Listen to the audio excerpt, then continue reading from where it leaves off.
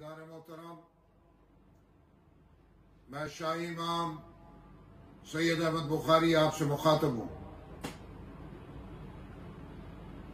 जैसा कि आप अखबार टीवी और सोशल मीडिया पर यह खबरें मुतवातिर सुन रहे हैं कि दिल्ली समेत हिंदुस्तान के मुख्तलिफ़ सूबों में कोरोना वायरस बहुत तेज़ी के साथ फैल रहा है। दिल्ली और मुख्तलिफ़ सूबों में हालात ये हैं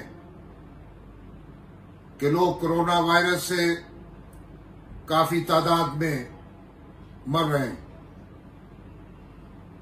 और ये तादाद मुसलसल बढ़ती जा रही है।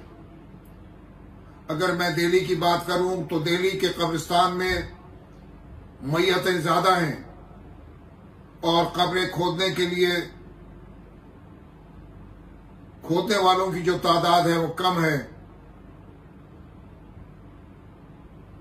अक्सर लोग कोरोना वायरस को संजीदगी के साथ नहीं ले रहे। मैं आपको बता दूँ कि वायरस इस दफ़ा जो फैल रहा है, निहायत खतरनाक है। पहले सिर्फ़ बुज़ुर्ग इससे मुतासर हो रहे थे, लेकिन आज नौजवान और खातन बहुत ज़्यादा इससे मुतासर हो रही हैं। आज भी जो मेरे पास इतलात आई हैं, इसमें एक बुज़ुर्ग खातून का कोरोना वायरस से इंतकाल हुआ और अभी जनाजा रास्ते ही में ही था कि उसकी बहू का भी कोरोना वायरस से इंतकाल हो गया। और इस तरह के कितने ही वाकयात हैं जिनकी खबरें मुझ तक पहुँच रही हैं और आप भी आ, सोशल मीडिया पर और टीवी में ये खबरें मुतवातिर सुन रहे होंगे। इसलिए मैं आपसे अपील करूँगा कि सोशल डिस्टेंसिंग का बहुत ख्याल रखना ज़रूरी है। खासकर नमाज़ के औकात में फासला ज़रूरी है। और मास्क का इस्तेमाल भी नहायत ज़रूरी है।